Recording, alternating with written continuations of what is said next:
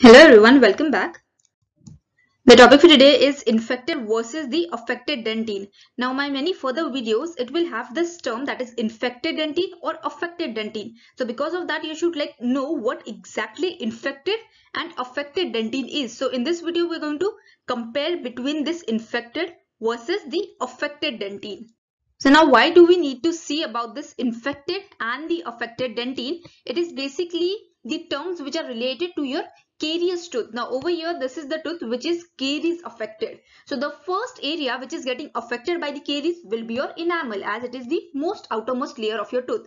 The next will be your dentine. So this yellow portion over here is your dentine and the last area which is getting affected by the caries will be your pulp. Now as we are going to see about the infected and the affected dentine. So over here the caries lesion it is like stopped till the dentin itself. So now in this also the carious dentin. So we can like term it as a carious dentin. So in this the carious dentin also have various layers or you can say there are, there are various zones of this carious dentin. So those zones or the types of this carious dentin are nothing but your infected dentin and affected dentin. So now over here this is the picture of your tooth which is caries affected. So in this now you can see your tooth that is your enamel it is destroyed and the next like structure of your tooth that is the dentine it is getting destroyed by that carious lesion. Over here pulp is not involved. It is just like limited to the dentine. Now in this the outermost layer of your dentine that is your carious dentine is known as infected dentine.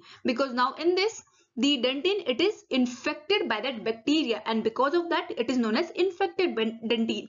The next layer over here this is known as affected dentine. So the dentine it is affected by this infected dentine. So this is like a way that you can remember about this infected and affected. So the uppermost layer will be your infected and the innermost layer will be your affected dentine.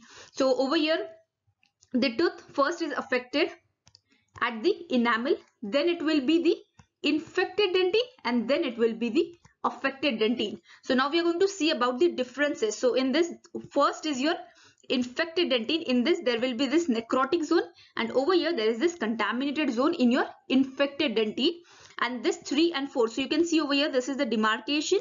So this area is your infected and over here this area is your affected dentine. So in this affected dentine you have the demineralized zone and the translucent zone. And over here beneath that affected dentine you have sound dentine and the tertiary dentine. So basically these are like the various zones of the carious dentine that we have already seen in our first year now these differences, it is like the most commonly asked short answer question. So you should know what exactly are the differences between your affected and infected dentine. Now as we have discussed earlier, so affected will be the one which is present beneath your infected dentine. So the first difference between your affected and infected will be, so the affected dentine, it is the deeper layer of your carious dentine. Now over here, so this is the enamel. So this white portion is your enamel and over here, the yellow portion is your dentine. So the enamel enamel it is like affected by your carious like lesion then the dentine is affected by it. So the uppermost layer of your carious dentine will be your infected dentine. So because of that over here this is the superficial layer. So in this beneath the superficial layer you have your deeper layers. So the deeper layer is your affected dentine. So this one is the first difference. The next difference will be the affected dentine it is dark brown in color. Now over here you can see properly. So the color difference over here. So this is the dark brown color for your affected dentine whereas the infected dentine it is light brown in color. So over here only you can see the difference between the colors in the infected and the affected dentine. The next will be the consistency. So in this the affected dentine it is hard in consistency and infected dentine it is soft in consistency. So now this is like the most important point when you're removing the caries. So now if you have done your like preclinicals and the clinicals so now in that also your staff members will tell you that you have to remove all the caries which is having the consistency which is soft. So because of that you need to remove the dentine which is infected. And you can leave the carious lesion which is hard in consistency because that is nothing but your affected dentine so over here the deeper layer that is your infected dentine it is a it is having like consistency which is hard and the infected dentine it is having the consistency which is soft. So this is the next difference between your infected and the affected dentine. The next one will be how sensitive it is to the touch. So in this, the affected now affected is the deeper layer. So the affected dentine, it is present beneath your infected dentine. So because of that, it is sensitive to touch and over here, infected dentine, it is not sensitive to touch. That means now when you're instrumenting it, so when you're doing or when you're removing your caries, so now you have removed your enamel caries, then you're moving towards the dentinal caries. So now first you are removing your infected dentine. So that time the patient, they won't feel that sensitive to touch or they won't feel that pain at the time of instrumentation.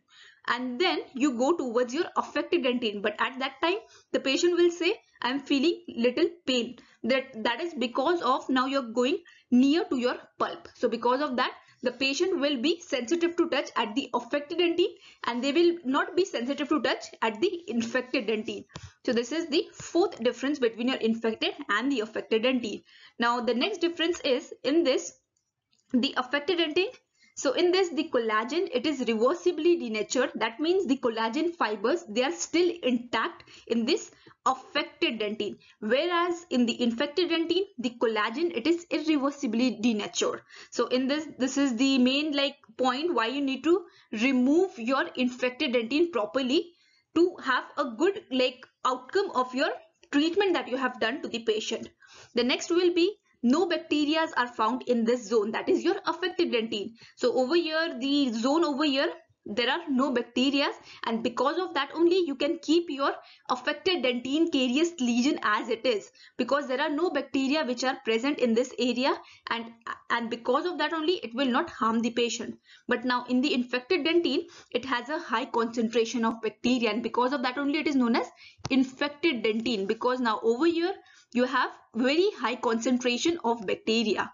The next difference is now the affected dentine, it is not stained by the caries detecting dye, whereas the infected, it is stained by the caries detecting dyes. So there are various like dyes which are present to detect the caries, which we are going to see later on in the like video of diagnosis of your caries and stuff. So in that also we are going to see about this various dyes. So just the point you need to remember is so the affected dentine, they are not stained by the by the dyes and the infected they are stained by those like various detecting dyes.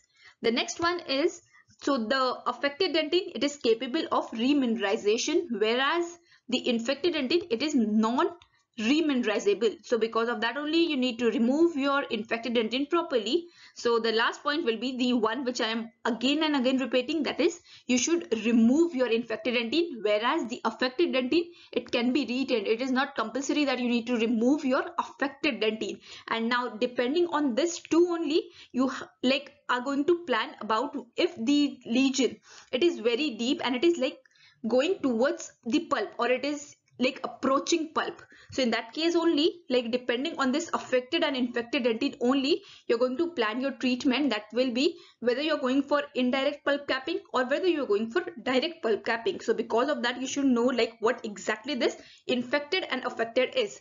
So basically you just need to remember that you have to remove the soft consistency dentine that is the infected dentine and you can keep your affected dentine because now the clinical difference you will feel is when you're removing the caries lesion. So when you're removing so when you're doing the instrumentation so when you're removing the lesion, so at that time you will feel this soft carious lesion. So that is nothing but your infected dentine. And then when you will feel that hard consistency dentine, so that is nothing but your affected dentine. So when you feel that you have reached that hard consistency dentine, so at that time you need to stop your instrumentation. And you can feel that with the help of a spoon excavator also. So this is the difference between the affected versus the infected dentine. So that was all about the infected versus the affected dentine. I hope you found this video helpful and if you did then please like, comment, share and do subscribe to my channel. Thank you so much.